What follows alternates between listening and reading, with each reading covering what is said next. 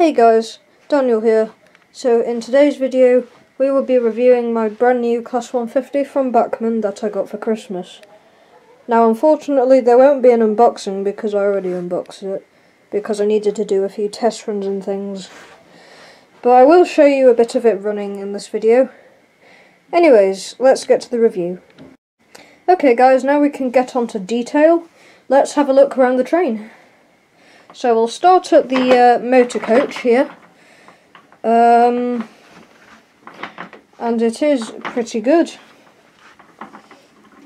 for detail. We have very good distinctive things on this particular model. But then again, it is Bachmann, so that's what you expect, isn't it? Uh, so here we have the handrails, which I believe are probably separately fitted. Yep, they are separately fitted. Actually, yeah, they probably are separately fitted. Uh, we've got the window um, wipers, windscreen wipers, and the gangways here. They look very good. Um, and we got this hatchet here now.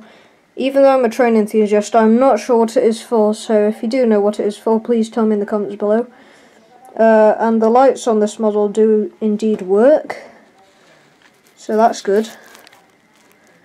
And uh, the bodywork, uh, I mean the paintwork is applied onto the bodywork very well.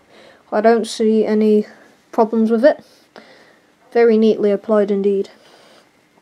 Now, for cab detail, um, you can't. I can't really show you in there. well, I could, but it'd be a bit hard to. It's not too bad actually. There's no paint or cab detail, but it shows the cab very well. You've got your warning stickers and stuff on the side of here, and the button, and this is for the driver's door. Now, moving on swiftly to the interior and exterior of the passenger compartment area. Now, this is a bit annoying, you probably can't see this, but the interior is here. The the windows are very good, no paintwork issues, and um, you can see the seat backs in there.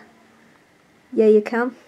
There's no painted detail in there, nor is it too good, but it's still an interior that you can actually see because on most models you can't really see an interior which is good. Um, you have these lights here which would light up when the doors are unlocked. Here is the outside of the doors. This one is the disabled door and it's got the disabled door stripe which is very good. Um, we've got again more warning stickers and disabled badge and uh, the uh, very well apply door handle. I mean, door button, sorry. You press that to open the door. And uh, looking at the logo, it's very nicely applied. I say that there's a bit of dust on it. Yeah, remove that. Look at that. It's alright. It's very nice. But this is the best bit. You know, on the undercarriage, you wouldn't see too much. You wouldn't expect too much on any undercarriage, really. But look at that. It's very detailed. You've got the power box and you've got the uh, exhaust systems and whatnot. And even the exhaust tube here is very good. My Bachmann Class 170, which I've had for several years, is nowhere near as good as this for detail. They really have upped their game in a few years. Um, you'll have seen it in my other videos. Uh, interior on this one is a lot easier to see. This is the dummy coach, by the way, and as you can see, it's got yeah, it's just got seats and really you can you can see out from the other side. Look, there's the people on platform one. Um, again, exterior on this is brilliant. It's even got download it app on the app, app Store and Google Play. It's brilliant. Um, and here's the cycle door this time. It's got the cycle stripes and the bike and the button for the door and all the warning symbols. It's about the same on on the sides and everything. It's just a standard Class 150, but it's very well detailed. This bit here is the bike compartment, I know that, because the seats are facing that way. Uh, so there's room for bikes in the middle. Uh, the northern logo is, again, very well applied. Just noticed it says Northern by Arriva. It's not by Arriva anymore, but...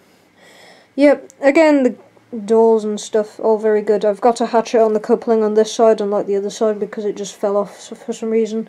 Now, if I can show you the destination, I'll try and get it on this side. This this is going to... Okay, hold on. One second, folks. Just need to sort this.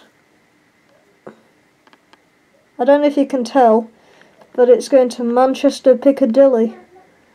I'm sure you can read Manchester, or maybe not, maybe. Uh, the roof is very Class 150 like.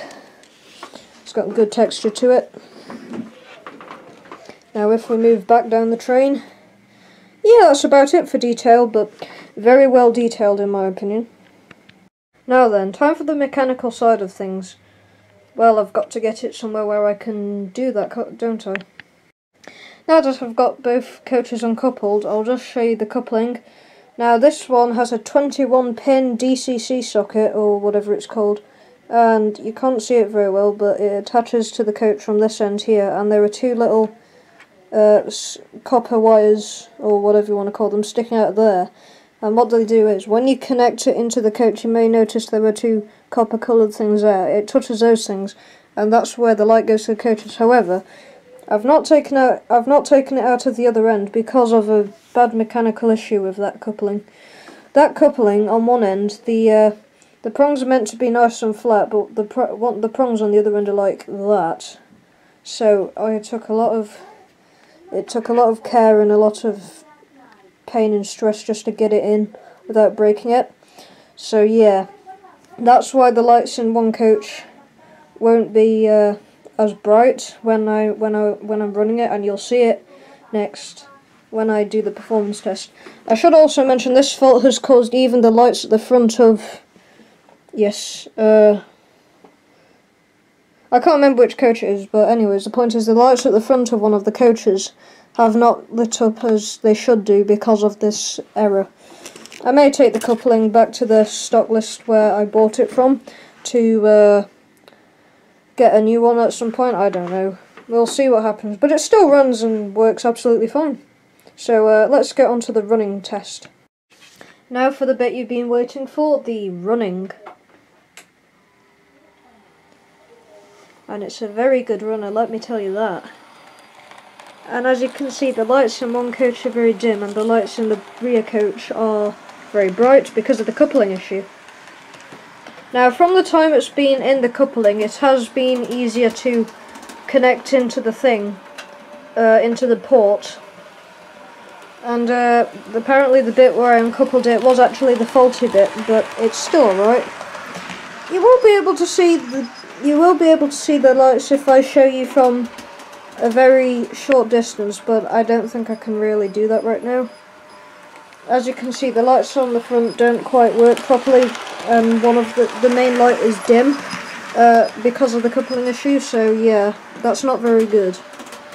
But it's it, it runs and drives alright, and it's a very good, high quality train from Bachmann, in my opinion.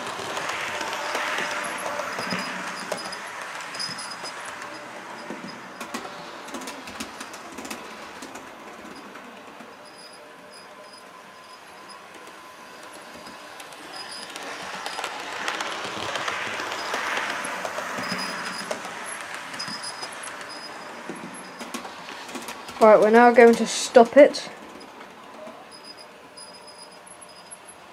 I'm not sure what squeaking noise is coming from the wheels, but never mind.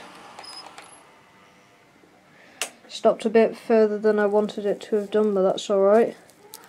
So, what do I think of this particular DMU? Well, it's it's a great um, addition to my layout. It's here now to replace this sh shabby little pacer that I've had for a couple of years.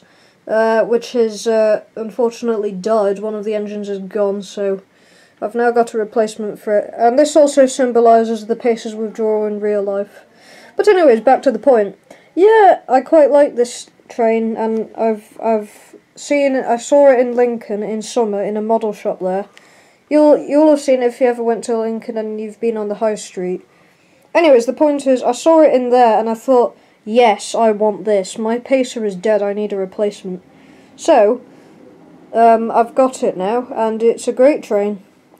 And it, um, it's very well detailed, which I like. Most of my trains are either moderately or not very well detailed.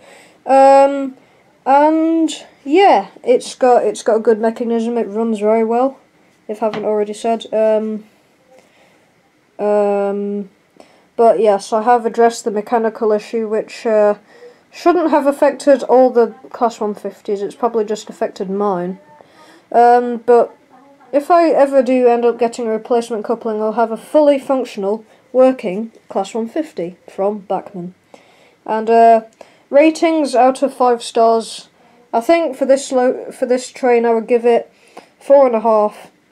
I would have given it five, but because of the mechanical issue and the 21 pin uh, DCC coupling thingamajig, uh, because of that fault, I'm only giving it a four and a half. But it's uh, it's a very lovely train, and I would and I and I will run this for a very long time, and I'm sure it's got lots of life ahead of it. Anyways, thank you for watching this review of my brand new Bachmann Class 150, and uh, hope you enjoyed it, and see you in the next video.